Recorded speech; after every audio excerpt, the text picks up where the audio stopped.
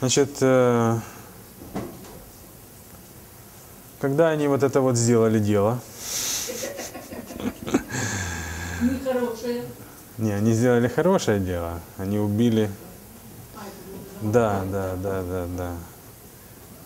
Ну, понятно, что убийство расценивать как хорошее дело трудно, но в данном случае это, это было хорошее дело, потому что они отстаивали свою свободу, свободу вероисповедания и так далее, то есть, да, вот.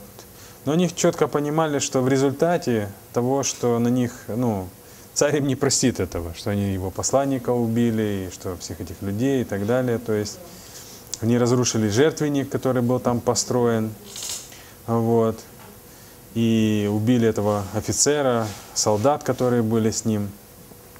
И все, что им пришлось делать, действительно, им пришлось уходить, так сказать, говоря нашим языком, в подполье, да? Да. Вот. Значит, они пошли в пустыню, да? И они призвали всех тех, кто хочет пойти с ними, тот, кто верен Богу, верен Торе, чтобы они следовали также за ними. И на самом деле собралась достаточно приличная группа людей, которые а, вступили в сражение и воевали, да, и это очень достаточно долго происходило все. Ну, мы знаем, что было написано на знаменах э, Маковеев. Кто помнит? Что было вышито на знаменах Маковеев?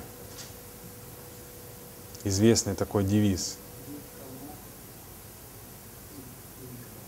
Помните? Мика Моха Белим Ашем. Какая сила сравнится с тобой, Ашем, да, Господь? Э, Некоторые считают, что э, Макаби, да, означает молот. И здесь как бы подразумевается то, что Иуда, он был силен как молот.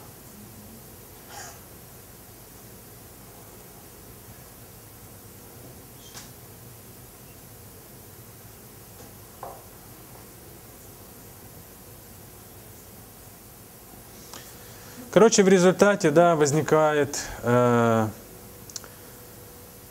значит, э, освободительная война, возникает э, партизанский отряд, и они сражаются.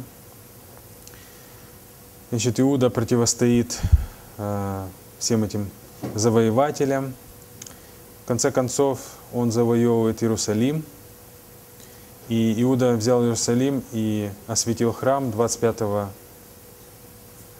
числа, да, в 164 году.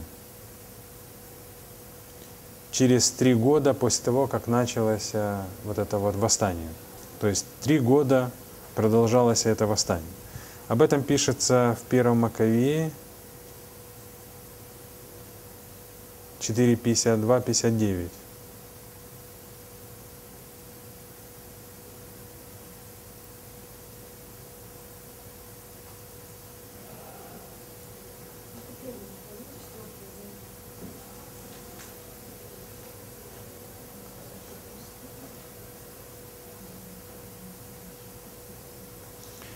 Значит, э, в 25-й день 9 месяца, это месяц Хаслев, 148 года, встали весьма рано и принесли жертву по закону на новоустроенном жертвеннике всесожжений.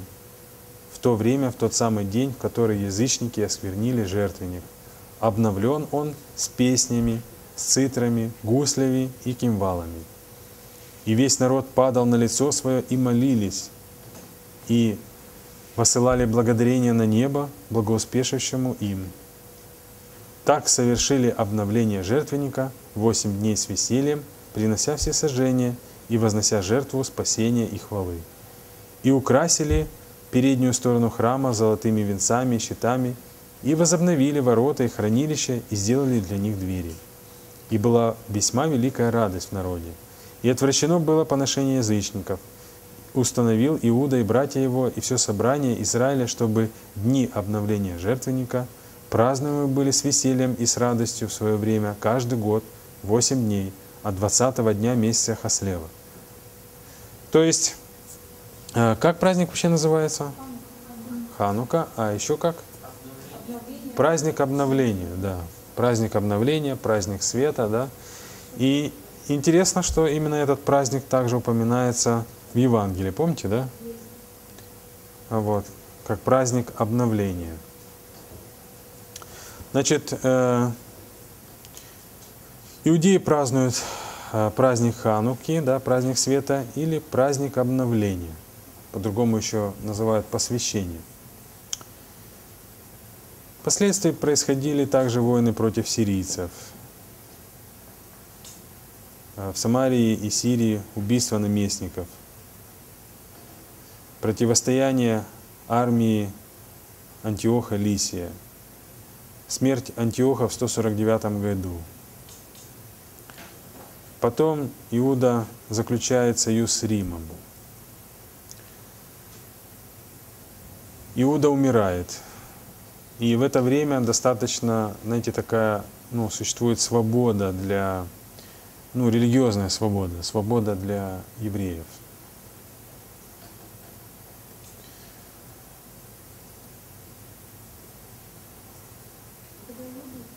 Сейчас, сейчас скажу.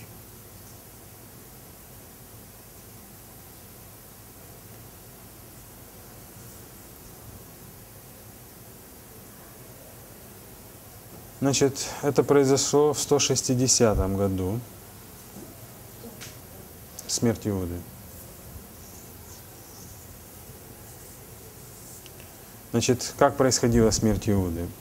Иуда Макаби возвратился в Иерусалим и, чтобы укрепить свою власть, заключил союз с римлянами. Этот неосторожный шаг привел впоследствии к страшным бедствиям. Девизом римлян было «разделяй и властвуй», а это означало настраивать народы один против другого и, пользуясь их разногласиями, править ими. Поэтому римляне были рады вступить в союз с противниками Диметрия, правителя Сирии, и направили ему приказ не воевать против Иуды. Но еще до получения этого приказа Диметрий послал армию в 22 тысячи человек во главе с Бахидом, чтобы отомстить за поражение Никанора. Узнав о столь многочисленном противнике, большинство сподвижников Иуды разбежалось, и с ним остались лишь 800 человек. Они бесстрашно сражались с врагом. Иуда поразил противников на правом фланге, враг отступил, и маковеи преследовали его по пятам. Но на левом фланге сирийцы одолели маковеев и в конце концов добрались до Иуды и убили его. После гибели своего предварителя маковеи дрогнули и бежали. Тело Иуды они унесли с собой и похоронили его в Мадине. Произошло это в 160 году до нашей эры.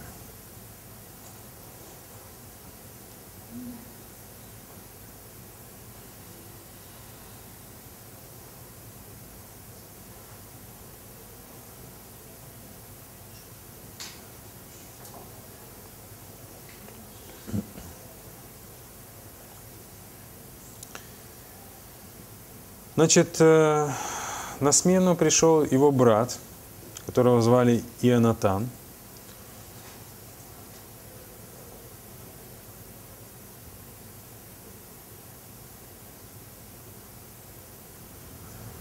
Он был правителем, начиная с 160 года, э, 160 года после смерти Иуды по 143 год. На самом деле Ионатан, он был больше политиком, нежели воином. И он позволил, чтобы его назначили первосвященником. Это произошло в 153 году.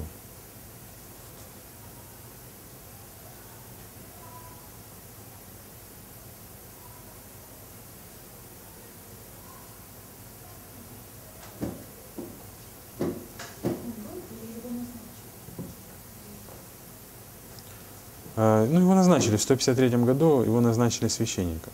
Ну, он позволил, так, так сказать, он разрешил, чтобы его назначили священником.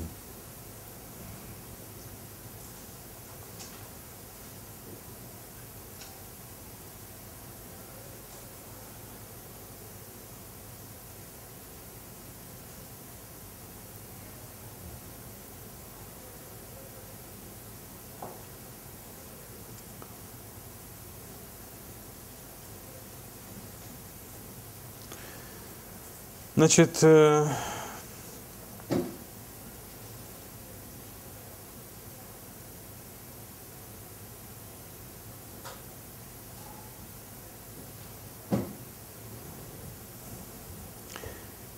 Иенофан был убит Трифоном.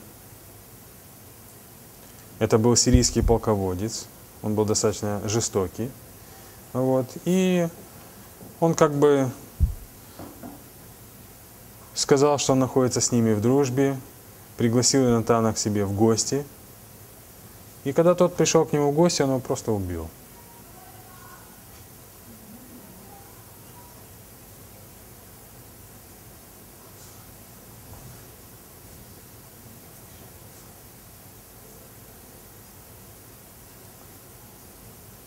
Значит,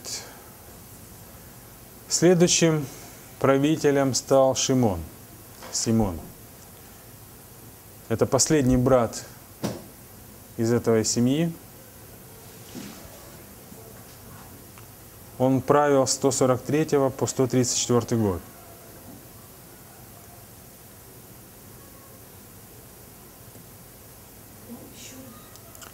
Симон или Шимон –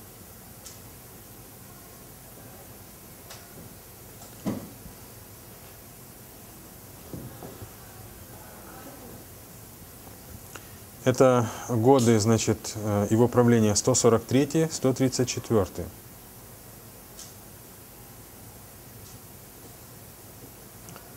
Годы его правления 143-134.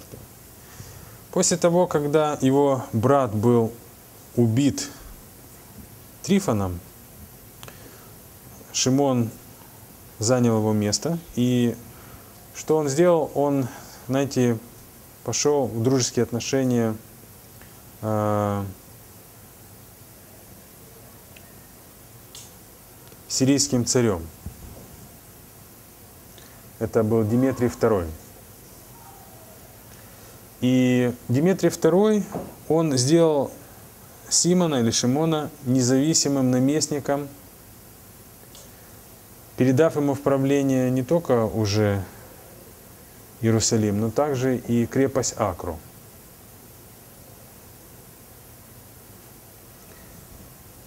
Двадцать третьего яра 141 года до нашей эры Шимон вошел в Акру и таким образом освободил всю Иудею от иноверцев –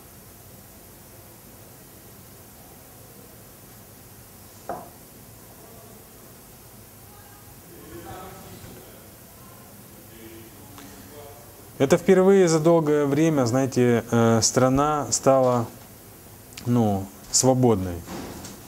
Свободной, независимой. И то есть над ней не было господства иноземцев. Ияра, да. Угу.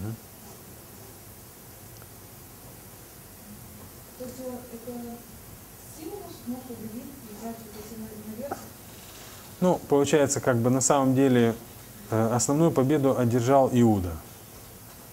Вот. Единственное, кто еще, как бы было, какое место, это вот эта э, крепость Акра, она была занята иноверцем.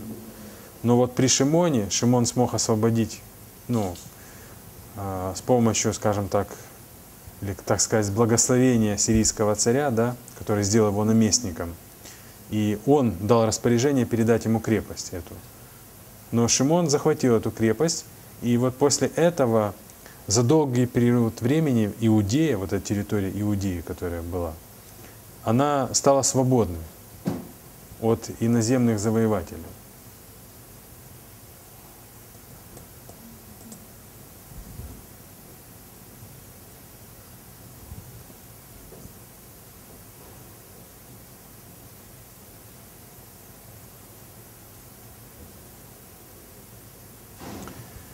О нем говорят, что он был мудрым руководителем и принес своей стране счастье и процветание. Население Иудеи почитало Шимона за его славные дела и подвиги всей его семьи.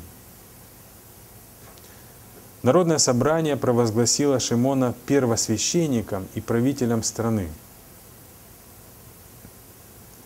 Это было на самом деле впервые, знаете, такое, что, ну то есть, как бы уже мы видели, что были такие моменты, когда первосвященник имел э, политическую власть, да, политическое влияние. Но в данном случае это было уникально в том отношении, что э, этот человек, он был провозглашен одновременно и правителем, и первосвященником. То есть это момент, можно сказать, такой, что он был как и царь, и первосвященник. Поэтому, когда Иисус говорит, да, что он первосвященник по, по чину Мелхиседека, то есть царя, да, можно сказать так, ну, то есть, что он и царь, и первосвященник, да, то это уже было не ново. Понимаете, да? Что, что за- заметить, он же не сам себя выбрал, а народ его выбрал. Да. И Большая разница между Дионисием, там, Епифаном и скромным правителем или Шимоном. Может быть, кто зрители или царь? Ну, как бы Шимон, конечно, он, знаете, он э, именно от того, чтобы его называли царем, он отказался. Потому что он сказал, что э, он не может принять также э, титул царя по одной причине, потому что титул царя принадлежит наследникам дома Давидова. Потомкам же Аарона дано в удел священства. Но, в принципе, он был и тем, и другим, так сказать. Хотя он не провозгласил себя царем, но его таким сделали, да.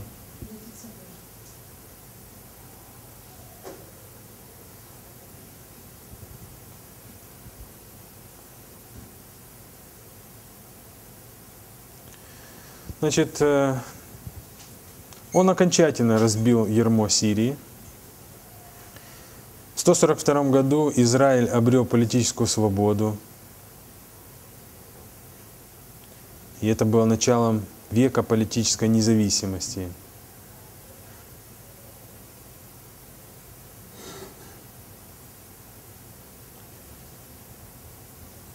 И мы знаем, что потом, позже, Израиль потерял ее снова, эту политическую независимость, и обрел ее в каком году? В 1948 году, 1948 года. Ну, вообще объявлено было, да, в 47-м, да, если так быть более точным. Ну вот, 1947-м. Ну, вот. Ну, мы знаем, да, как бы официальная дата такая, 48 год. А вот. Значит, э, Симон был провозглашен в 140 году основателем новой династии первосвященников.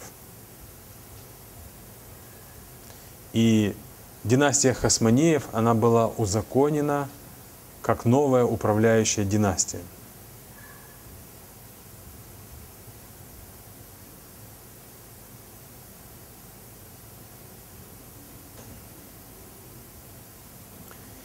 И при нем, именно при нем, или от него, пришло такое понимание и положение в отношении первосвященника, что первосвященник должен быть э, по своей сути все-таки политическим таким человеком, то есть иметь стать политического руководителя.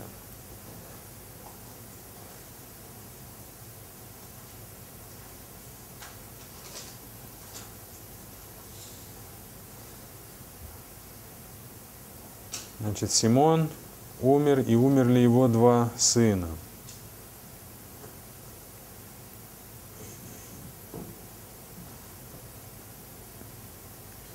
Сейчас я хочу посмотреть, какой-то год был. А, год у нас есть.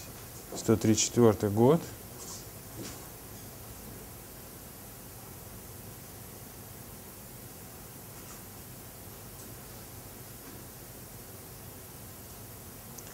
134 году.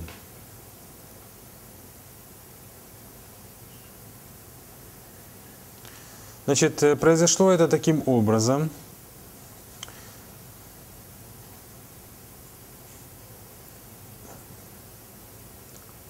Птолемей пригласил Шимона, супруга и двумя сыновьями к себе в город Док на пир. И на пире просто убил их. И один сын его, которого имя Ио- Иохан, Иоханан Геркан, это был старший сын Симона, остался в живых. Когда он услышал о смерти отца и братьев, он поспешил в Иерусалим и созвал жителей Иерусалима. Он сообщил им о случившемся. И когда Птолемей подъехал к Иерусалиму, они уже были в курсе того, что происходит, и были готовы. Поэтому жители, они не позволили Птолемею въехать в их город. И Птолемею пришлось бежать в Док. В конце концов, э, Иоханан Геркан, он преследовал его и окружил этот город.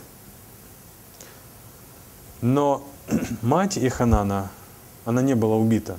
Она была пленницей в руках Птолемея. И Птолемей угрожал, что он убьет ее, если Иоханан будет атаковать Док. И вот его мать, она оказалась очень мужественной женщиной, она обратилась к своему сыну с призывом не обращать внимания на угрозы Птолемея и отомстить за смерть отца и братьев. В конце концов, Птолемей убил свою тещу, теща его была мать Геркана, и бежал. После этих всех событий в 135 году до нашей эры Иоанн Геркан был назначен на пост первосвященника и наместника Иудеи вместо своего отца.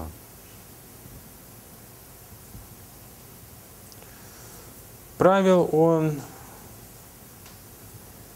начиная с 134 года по 104.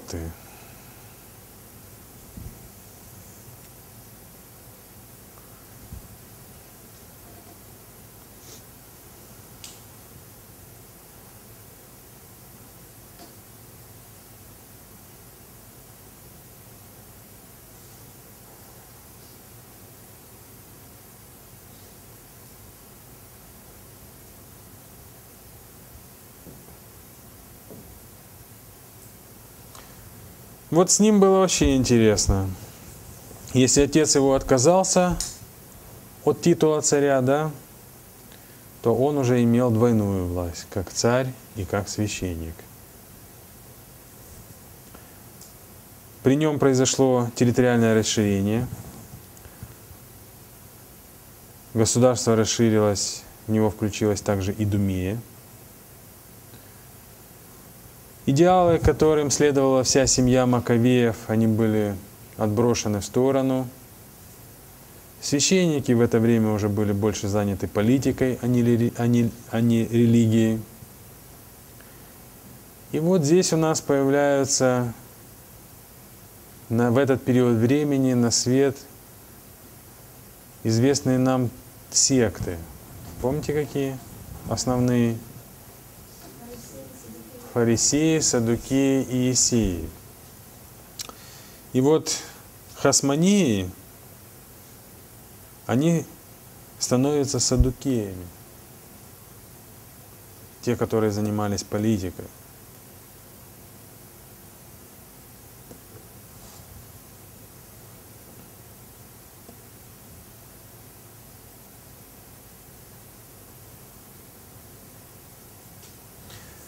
Ну, как бы есть э, разные как бы мнения по поводу того, откуда же появились садуки. Я предлагаю более подробно уже завтра мы поговорим об этих трех, ну, сектах, да, то есть откуда они появились, а какие есть впечатления о них и так далее. А сегодня мы немножко еще поговорим об этом Геркане.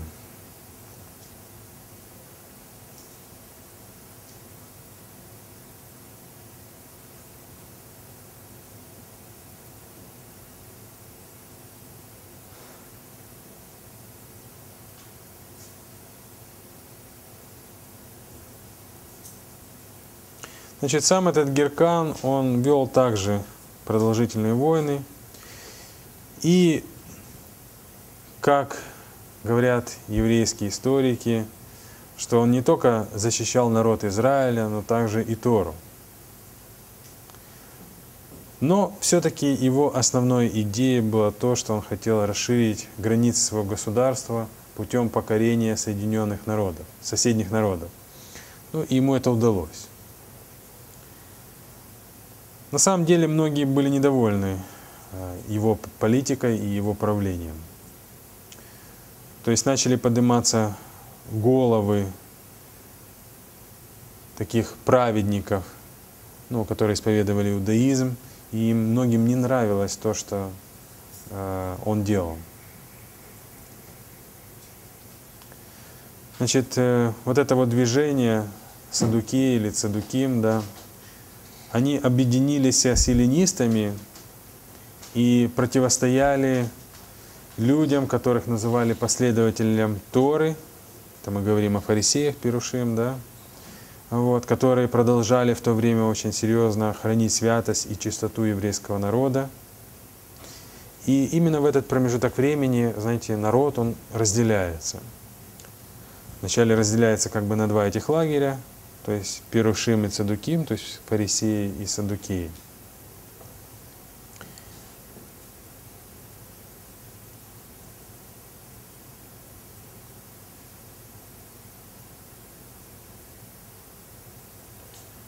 Значит, э, в это время, просто я хочу говорить еще раз э, завтра по поводу этих всех, ну, больше, э, подробнее, поэтому чуть-чуть еще скажем.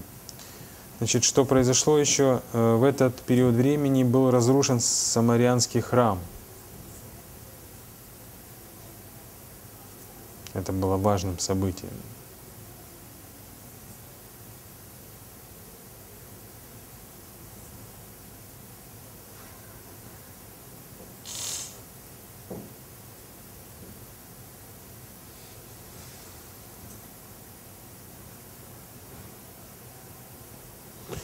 Значит, э,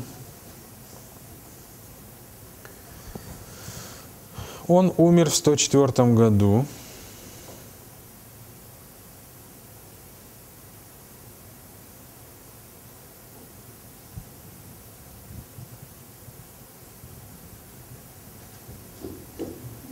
как делают заключение, что из-за того, что он не последовал э, правилам и путями хасманеев, которые боролись на самом деле не просто за расширение территории, но они боролись за Тору и за свободу вероисповедания, да, за то, чтобы быть евреем, для того, чтобы можно было следовать заповедям Божьим.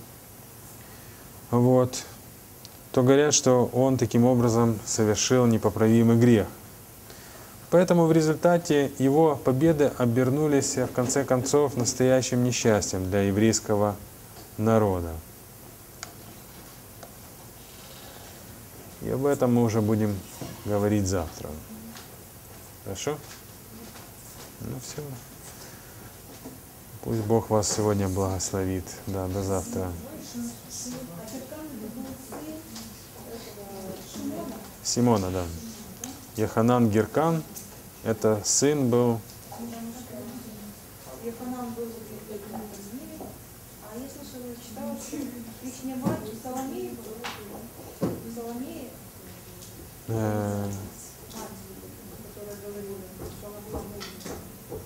Я не помню.